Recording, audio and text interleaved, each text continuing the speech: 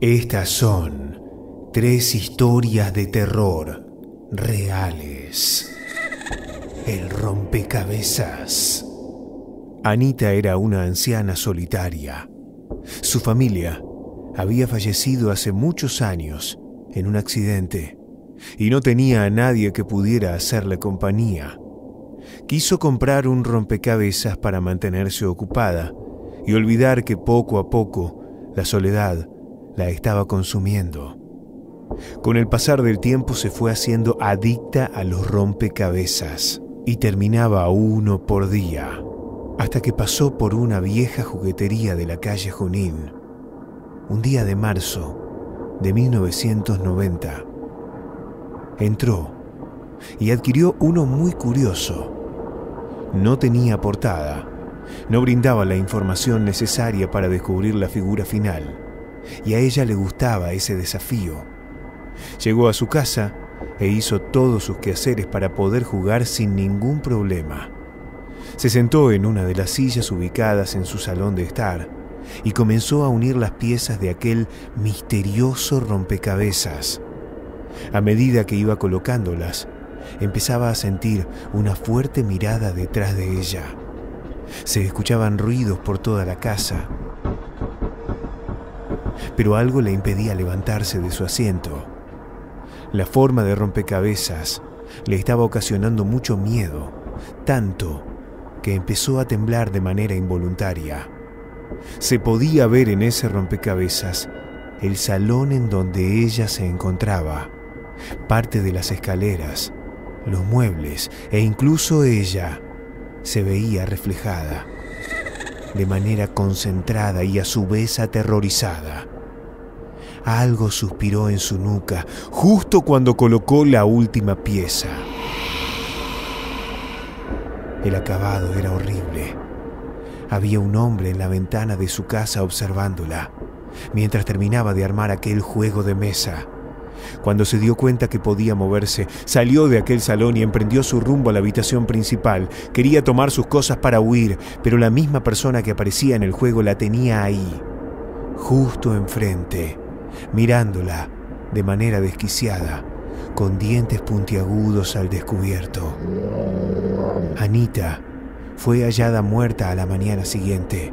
La policía encontró la casa totalmente desordenada, su cuerpo empapado en sangre y el rompecabezas exacto. Sin embargo, no tenía una imagen para mostrar. Estaba en blanco. Debajo de la lámpara en la mesita de luz una carta de puño y letra. Anita relataba esta historia. Creer o no, no te salva de las consecuencias.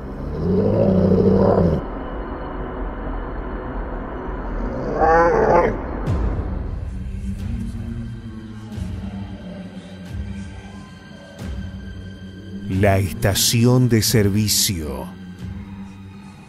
Nunca es bueno manejar solo por las rutas argentinas, menos cuando es de noche. Pero Daniela era una aventurera. Ella no necesitaba estar acompañada para salir. Eran más de las 11 de la noche. Tenía unos cuantos tragos de más y el sueño le estaba ganando. Ya no se sentía con la capacidad de seguir manejando y el tanque de nafta se estaba vaciando poco a poco. Estuvo a punto de quedarse varada a un lado de esa oscura ruta cuando logró visualizar una estación de servicio aparentemente abandonada. El lugar estaba totalmente solitario, pero extrañamente tenía combustible. Y aprovechando su suerte, se detuvo en esa estación y ella misma empezó a llenar el tanque. Escuchó unos pasos, observó todo el panorama, no había nadie. Eso la aterró aún más.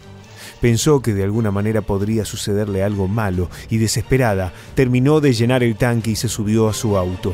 De la nada, alguien apareció frente a su capot con una mirada desorbitada. Te van a matar.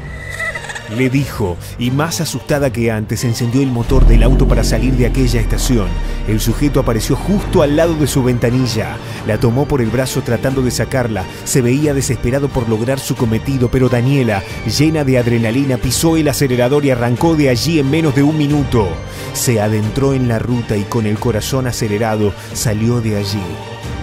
Algo llamó su atención desde el espejo de su auto. Había un bulto extraño en el asiento trasero.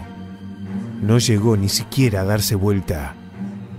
Un sujeto extraño la tomó por detrás y colocó un cuchillo en su cuello. Detuvo el auto por órdenes de ese hombre. Este se rió de una manera macabra. Perdiste. Y la degolló. El cuerpo de Daniela fue encontrado cuatro días después al menos lo que quedaba de él. El hombre la descuartizó y lo único que dejó intacto fue su cabeza, inmortalizando la cara de terror de Daniela con su último grito. La estación de servicio existe en una ruta de nuestro país. Esta historia la cuentan sus pobladores.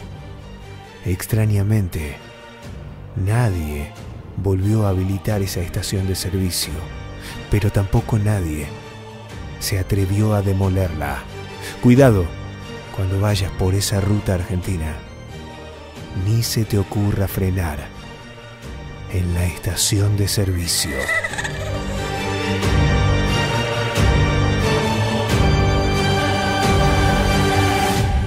Los fantasmas de Alcatraz. Alcatraz era una prisión de alta seguridad, ubicada en San Francisco. Fue cerrada en 1963 porque iban a mudar las instalaciones. Pocos años después, Alcatraz se convirtió en uno de los mayores lugares turísticos de la ciudad. Turistas de muchos lugares del mundo y países para conocer ese sitio en el que vivieron los peores criminales de la historia. Muchos aseguran que los que allí murieron quedaron vagando por la cárcel. Nadie creía esta historia hasta que una pareja fue testigo. Catherine y Edward visitaron Alcatraz para confirmar los rumores. Caminaron por todo el lugar por unos cuantos minutos y al llegar al corredor se sorprendieron al ver un hombre muy alto, de piel pálida y ojos negros. Ojos que destilaban odio puro el sujeto se estaba acercando de manera amenazante a la pareja y cuando estaban pensando en huir, el hombre desapareció. Decididos a abandonar la cárcel, tomaron su camino a la salida, pero otro hombre les impidió el paso. Este era igual de alto que el anterior, pero lo que en verdad les aterró era el uniforme que tenía puesto, el uniforme que los presos utilizaban cuando la cárcel estaba funcionando. No pasaron muchos minutos cuando un tercer hombre apareció frente a ellos. Lo peor de todo es que el lugar tenía unas 30 personas más. Pero al parecer, ellos eran los únicos que podían ver a esos sujetos fantasmagóricos. La pareja logró ver a dos fantasmas ese día, pero la pesadilla no acabó ahí. Ellos los podían ver en todos lados. Los estaban persiguiendo, sus almas en pena querían acabar con Catherine y Edward, los fantasmas de Alcatraz.